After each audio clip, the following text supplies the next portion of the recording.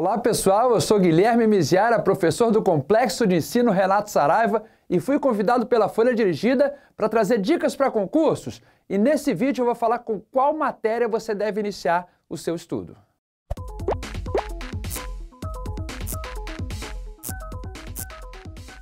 Na hora que você começa o seu treinamento, o seu planejamento de estudos, você tem várias matérias para você escolher.